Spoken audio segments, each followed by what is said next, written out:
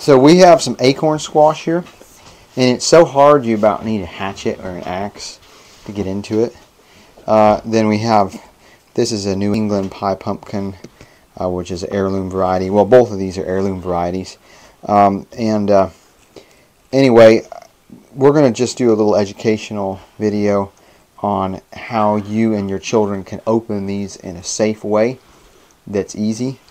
Uh, so some people may take a knife and work really hard to open these up. Um, but uh, a really easy way to do it is to use a baton. So here you take the baton. So I'm holding the knife here and try to hit it about right there.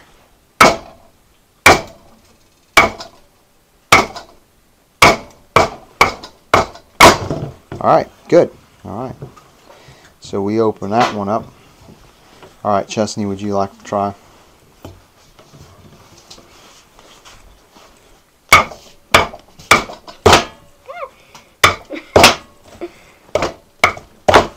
Alright, beautiful. That looks good.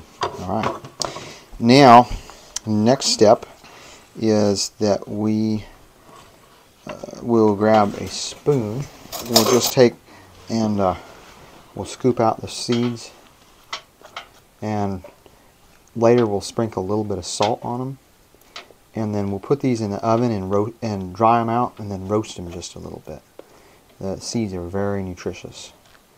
That's how we do it. So now I'll give you girls a turn. And, okay. Alright. And I see a little bad spot here. These were out frosted quite a bit, and so they had a little bit of frost damage. So I just cut that little bad spot out. Yeah, these, these acorn squash are quite a bit more tough and hard to chop than the uh, other kind of pumpkin. Alright. And we'll spread that out a little bit where it can dry. I like to cut them not much thicker than that and then just lay them out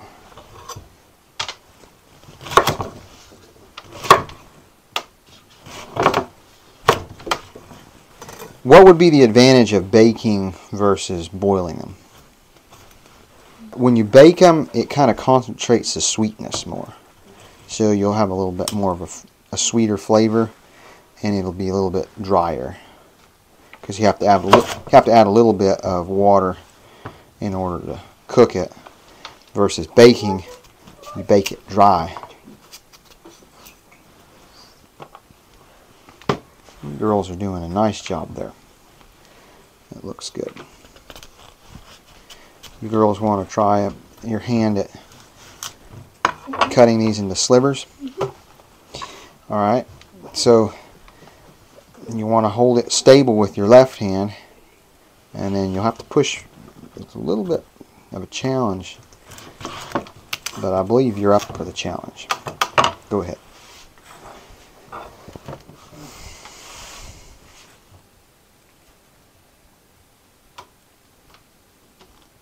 you want Chesney to smash it for you Chesney you, here you hold the knife steady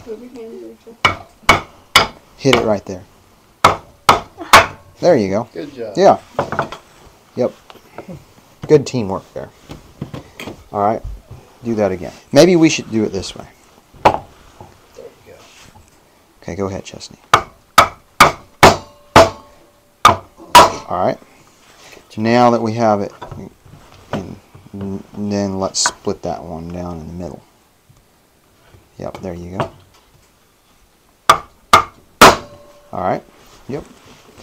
Uh, this is a safer method for inexperienced ones. And it's fun. It's, it's good teamwork. Mm -hmm. Instead of competing against each other in sports, we can work together for the same goal. Okay, uh, Rebecca, do you want to take a turn at it? You can turn it over if you want.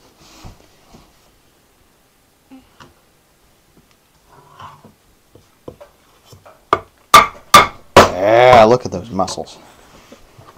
All right. Yeah, it's almost as I wouldn't want to mess with you girls. I mean, you know, either either this, either This or this. yeah, I mean, I wouldn't want them ganging up on me. Uh, oh, I like this method because the all the fingers are out of the way. yes, I agree. It's a lot safer.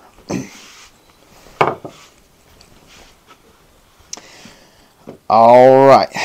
Well, are y'all ready to put it in the oven? All right. Okay. Uh, okay, so uh, one of you can open the oven. Somebody who wants to open the oven? Go ahead, Rachel. All right, good job. All right, next time, instead of letting it drop like that, just hold on to it and just let it come down, and it'll be a little more quiet. All right, and then one of you can put that in the oven.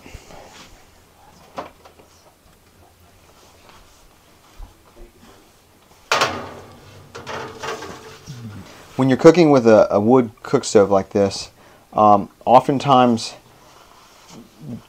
the whatever you have on this third of the pan that's closest to the firebox, whatever is closest to the firebox, this third will generally get baked sooner than this other side, and so you'll you'll watch it and you'll see, oh, okay, these are kind of getting browned, and these ones here aren't quite so baked, and so sometimes you'll take it out and you'll flip it around like that. And then that makes it evenly bake. Uh, and then most wood cook stoves that have an oven have this. So this damper when the damper is out then the smoke will go just directly from the firebox and it goes across there and it goes up the pipe but this damper here if you push it in it forces the smoke to go over the top here, down the side around here, underneath the oven, and then out the pipe.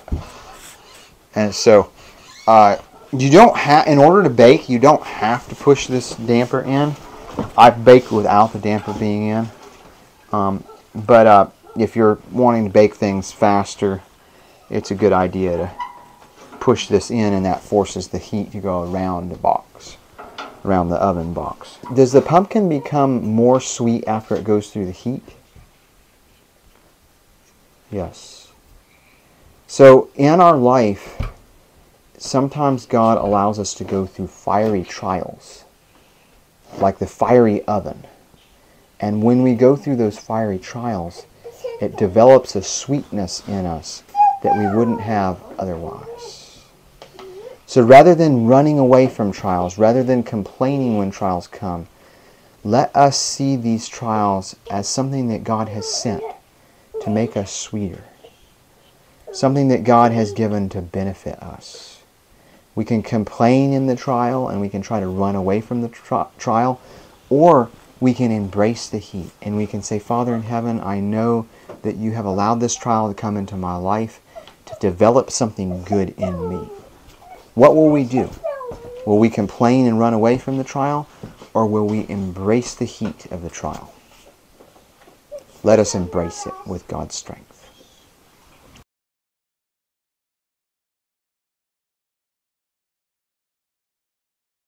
Why do you use Himalayan salt over regular salt? Okay. Uh, so the regular salt, it's bleached white, and it's unnatural. So nowadays we have refined sugars, we have refined oils, and now we have refined air, like air conditioners, you know, uh, and then we have refined salt.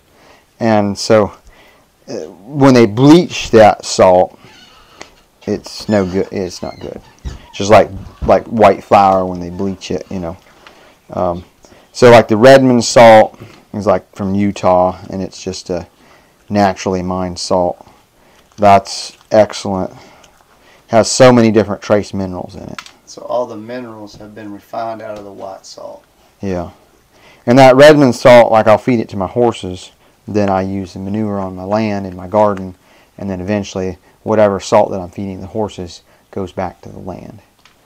Um, there's an organic farmer here that, uh, before they moved to Tennessee, he would take, um, it's called C90. It's a sea salt that has 90 different trace minerals in it, and he would do that as a foliar spray on his produce.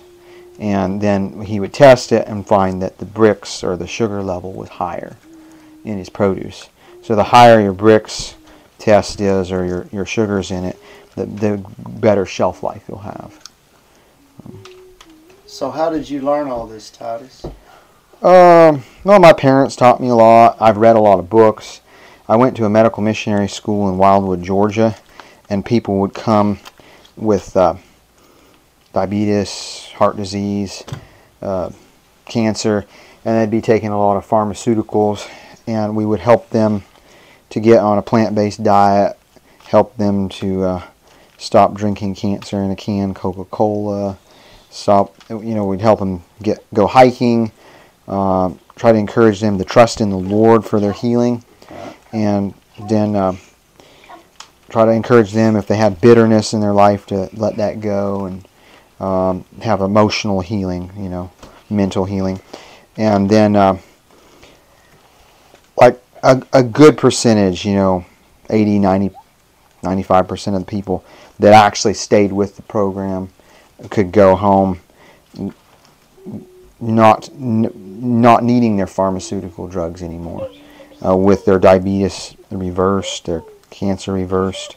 I worked with a medical missionary that was a neighbor of mine, a very, very, very well-studied woman, and uh, a lady came to her with breast cancer, and this woman was uh, at her place for I think a couple months, and just went on a plant-based diet, really embraced the whole program, trusting in the Lord.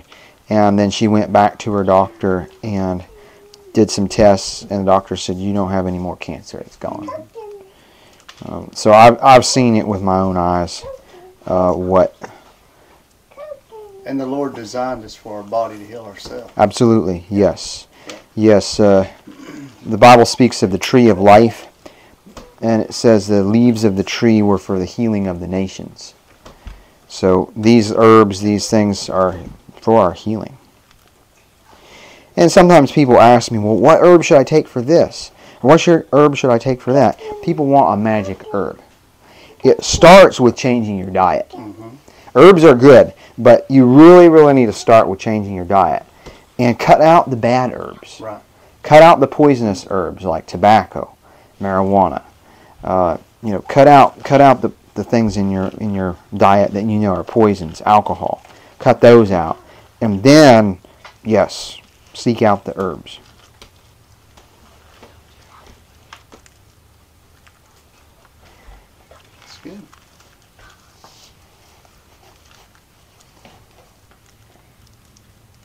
These pumpkin seeds are good. They have a, essential amino acids which are good for your brain, and they're also anti-parasitic.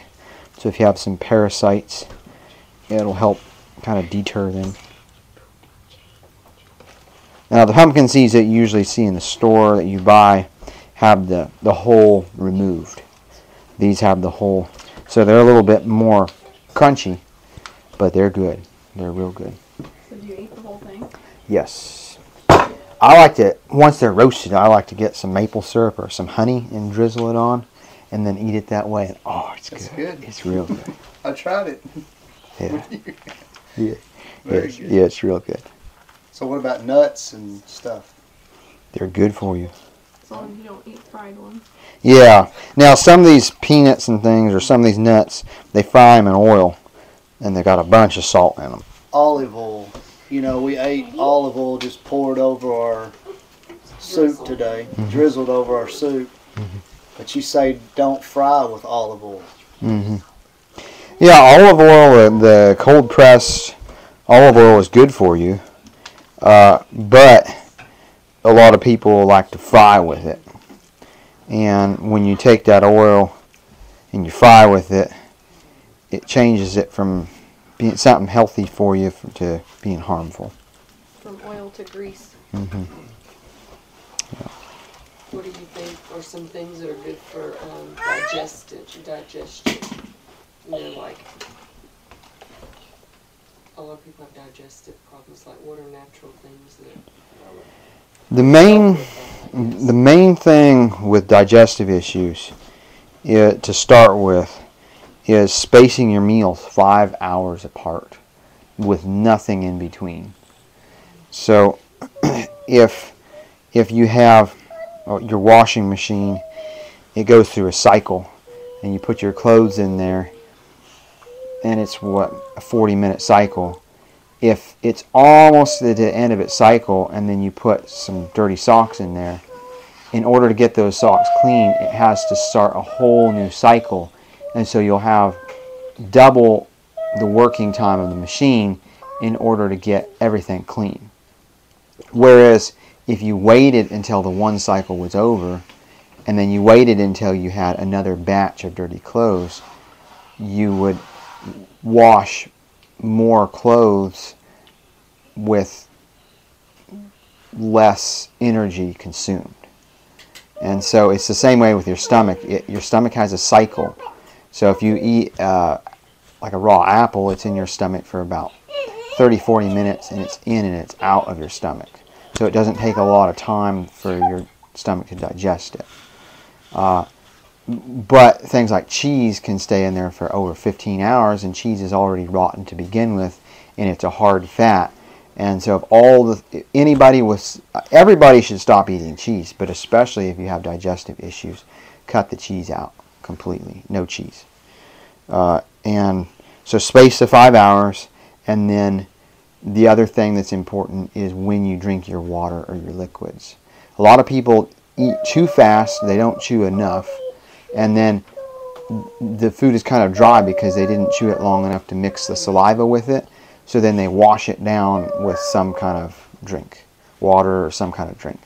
Um, what that does is that dilutes the stomach acid.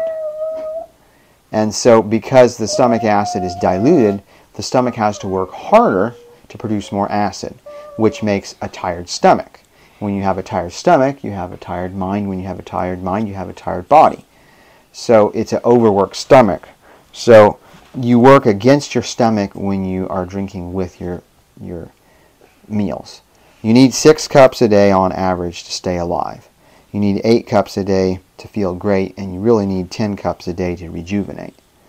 And so, if you drink your water about uh, like the fir- first thing that I do, I try to make it a habit. First thing I do when I wake up is drink four four cups of water, and then that gets my bowels moving right to begin with and then you just clean out the very very beginning of the day and then you're well hydrated uh, and it, it, it just you start your day off right but you want to have a half hour space between when you drink your water or whatever you're drinking and when you eat so you don't dilute your stomach acid. Then when you eat don't drink anything until an hour after you have eaten. So if you have that spacing you're working with the laws of physiology. But if, if you're not spacing it in that way, you're working against the physiology and how your stomach works. So, two of my volunteers so far that have, one of the volunteers was here for like two weeks, the other volunteer has been here for about one week. And both of them told me uh, after I've been here, Titus, my um, acid reflux is gone. So, they're not drinking with their meals like they were before and they're on a plant-based diet. They're not eating cheese. They're not drinking coffee. Um, and another thing with digestive issues is really spicy, hot food. It's not. It's hard, hard on your stomach. So especially, especially if a person's having stomach issues. So I would say something to your followers um, coming here. You know, um, Titus is in very good shape. He's very thin and slim and trim and very strong. Very healthy. Very healthy, very strong. Uh, if you come to help, you're going to be busy all day. He don't stop. And from daylight to dark, you might eat one meal a day. You're not going to drink no water while you're here. Um, he sent me up the mountain to log logs today, and, Them. and he threw me a bottle of water. But but um, uh, if you do come to help, and uh, Yeah, what advice do you have for the people that are Uh, going to come and, and help? uh, Speaking from experience. I would say you need to be a worker. Don't come here just to um, play. Be serious about your relationship with the Lord. What you see here is real. Um, what you've seen with Peter's real. Um, the food is very flavorful. Try it. It's good to try it. Um, but be willing to work and um, and talk about Jesus all day. Titus is constantly singing songs all day. Uh, man full of joy, uh, but he's very serious too. Um, there's not a lot of playtime, uh, but he takes time with the kids every single day. I try to. I would definitely say he's very patient with your children, and uh, if your kids come with you, they will have fun. yeah, we do have fun. Yeah, I would definitely. Uh, that's what I would have to say. All right, hey, that's good. Yeah, yeah, A word, a word from the man with some experience. yeah. I Yeah. I appreciate Brother Charles and his wife Renee. They have worked hard. They have worked hard, and I really, I really appreciate that. And you know, you put in time here building this up, and you don't know all the people that will come later and benefit from those trees that you trimmed up that we're going to cut and the lumber we're going to use to build. You know, um, and none of us really know. You know, you you do a kind deed, you don't know the influence of that. You speak a lie or you you do something unkind. You don't know how far that will go. You don't know the influence of that. You know, um, there was a missionary who went to Africa and his goal was to tell the people about Jesus, and he they just wouldn't listen to him, and he just so he got discouraged and he went home and uh, he doubted and he said, you know, I wasted my life over there for what? You know, nothing, no good ever came of it. And then later, his daughter went back to Africa, and there was a man that approached her and says, "Do you remember me?" And she's like, "No, I don't." And he's like, "Well, I, I was the one that delivered eggs to your door. Uh, every day I delivered eggs, except for on Sunday, and." uh, Your dad told me about Jesus, and he showed he showed me a better way. And I stopped living in fear of the spirits. I stopped worshiping the false gods. And i came to know jesus as Right. my savior. And so she went back. She told her dad you, you're it wasn't wasted. But he felt like it was wasted. So do what god has called you to do. Grow where you're planted. You know if you're a mother train your children for the lord. If you're a father train your children for the Lord. That's your first responsibility. That's your first calling. And then God may give you something more, something else, some other ministry.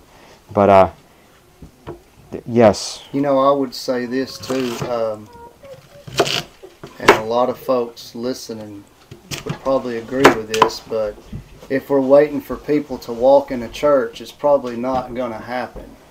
Um, the Lord is moving in people's lives by watching these videos, and they want to find something that's real, that's not fake, that's real. This is real. This is how Jesus worked with the seeds and the vegetables and the yes, farming and the horses and the, the building, the framing, the carpenter work. yes. Um, Yeah, he worked. You know, he he died at 33, and for the first 30 years of his life, you know, well, you see little Amish boys, at five years old Right. with a hammer Yeah. helping build the barn, you know.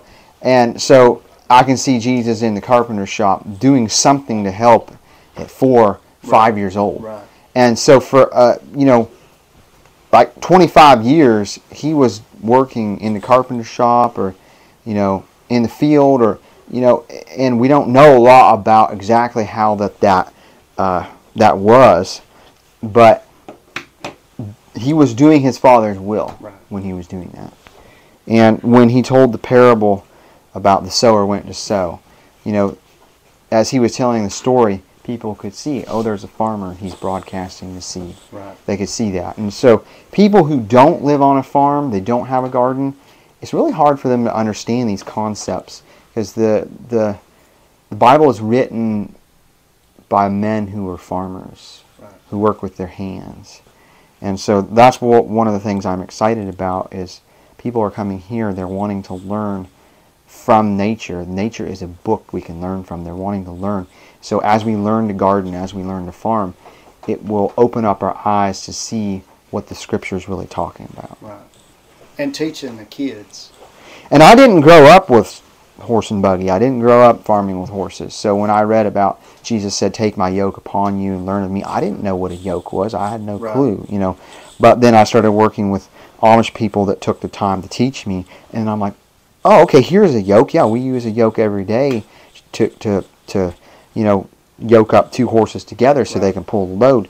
And so it, it, I was able to see so much more in Scripture after starting to work on a farm. Yeah, and Titus really does not have a car. He's got a little buggy and a little horse named Picasso. He goes to the store. Picasso is not mine; it's Rachel's. Uh, but uh, but he does he does serve me pretty well. And I also I have here in this area I have the uh, OPC transportation system. OPC stands for other people's cars. Yeah. So I mean I ride with a lot of different yeah. a lot of Yeah. different people. Yes. yep. That's good. You know, I planted some uh, winter mix on my garden before I left. Like a cover crop. Yeah. Mhm. And I was sitting there in my recliner looking out the window, and I seen these crows land, devouring the seed. You know, Mm. there's the there's the gospel right in front of you, Yeah. and it's really happening. Yes. That's really so. Jesus even made reference to them things. yes. So that's how true they are in our life. Yes. You know. Yes. Plant the Word of God in your mind by reading the Word, by asking for the Spirit to speak to you through the Word. And be careful because just like those crows will try to pluck that out Mhm. when it's just young and tender, Mm-hmm. in the same way, Satan will try. And I've seen it like when we're having a Bible study here sometimes. Like, normally you can hear the whistle for the sorghum mill just very faintly. We were having a Bible study and we were on a very important topic, and all of a sudden that whistle was so loud that people were like, What's that? Yeah. It was so loud. Satan will try. He can't stop the Word of God from being taught or preached, but he does cause distraction. Right. I've seen it over and over. Don't let that phone distract you. You know, put that phone away and get a paper copy of God's Word because if you have the Bible on your phone, ding, ding, ding, ding, you'll get a text. You know, that's one reason why my phone is out there In the shed. in the shed. yeah. You know, That's- that's because awesome. if I was studying my Bible and my my phone was right here, I'd be tempted to check and see, ooh, who is that? You know, what, what, what is that? What do they want? You know, Well, Um, well, however much time you spend with God, the more you put into it, the more God will give you too. It, it, it, is, my, is my experience. When I haven't read my Bible, or I haven't prayed, or haven't sang them hymns in my heart, Mhm. then God's waiting on me. Yeah. You know. Yeah, the, the days where I think, oh, well, I I need to go spend some time with the Lord this morning, but you know, I have all this work to do. I'll just do that later in the day. I'll Right. block it, or maybe I'll do it this evening. Then later never comes. Right. If you don't put Him first in the morning, oftentimes you just, and it's kind of like you know, Jesus was traveling with his father and his mother, and then uh, they lost track of him Right. and they searched for him for three days. So if you lose that connection with Jesus, uh, sometimes it's three days before you really connect again. Right. It, and the, my, my worst days where I get frustrated at my horses and I get irritated with this person, I get stressed about that. Those are the days where I just don't make time for God in the morning. You know, we were walking out of your gate here, and the uh, other people had their horse and buggy here, and the horses have blinders on Yes. their eyes, Mhm. and we walked by through that straight gate with them blinders on. Mhm. You know, think about that with the Mhm. word. Yes. Yes, the, with the blinders they can see some, but it keeps them from being distracted by looking behind them or to the side. And it, yes, we need to ask our Father in heaven to give us some blinders so that we're not distracted by all the things. Right. The blinders kind of kind of help a horse can just go straight on, just not be distracted. You know, so many distractions and Father in heaven, please give us blinders Right. you know and and you know as men we're tempted to lust you know job said uh, i've made a covenant with my eyes why should i look upon a maid you know we need to just in god's ask for god to help us to know when to just shut our eyes or when to turn our head or when to look the other way because um, if we sit there like king david did and watch then we'll end up making the same sin as he did you know, we gotta, we need God's wisdom as men to know when to t- close our eyes or turn our head or go somewhere else. You know, um, Bible says, flee from temptation. To flee is to run. Mhm. Let's run like Joseph. Mhm. You know, oftentimes as Christians, we crawl away from temptation, kind of hoping that maybe it'll catch Mhm. up with us. You know, um, sin is can't take fire into your your chest and not be burned. Something else I want to say is so when the world met you, you were in your happy little habitat. And and it's so easy anybody listening that's in ministry the the cares of the world will bog you down. People pulling on Titus. They're just pulling He's on. him. real. He's a real guy. But the ministry can bog him down and we don't want him to lose his vision. Like he like don't expect all this to happen overnight Mm-hmm. just because people volunteered Mhm. and people donated and because that's a lot of weight on Titus you know? Was he really ready for that? Maybe not. But you know God's teaching him Mhm. as he's going. He's growing. Um, his vision strong. But um, you know let's keep him in prayer um, because the devil's definitely here and wearing on him Mm. and and I'm telling you, the man don't stop all week long until Sabbath. And uh, oh, Sabbath is such a wonderful yeah, day. you know, yeah, but but Yeah. you know what I'm saying. I mean, it, yeah. it's a lot of weight hearing of all the problems and hearing what all you need to do, and and and God gave you the vision, so we need to stand behind you and pray for you and keep you in prayer. and hold me accountable. Yeah. You know, Yeah. if you see something in the Word and you see I'm not following it, say, Titus, here's what the Word says. You're doing something different. You know, uh, we you know we need that. We as brothers and sisters, we need to hold each other accountable. Yeah, it is hard for me. Uh, like this morning, uh, we had some volunteers come and I said, okay, let's let's uh, you know open God's Word, sing together, you know, have some worship time. And Stephanie's like, "You want me to record this?"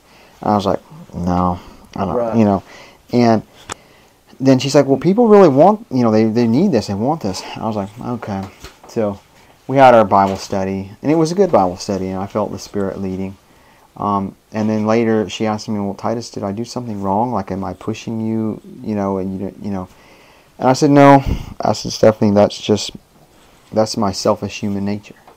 There's parts of me that wish that I never would have ever, you know, gone, been out on the internet because it's now it's just so many people coming, so much more responsibility, and sometimes I wish that I could just go back to the more quiet, the more peaceful, you know, uh, that I had before. But that's just that's just my human nature, Right. you know.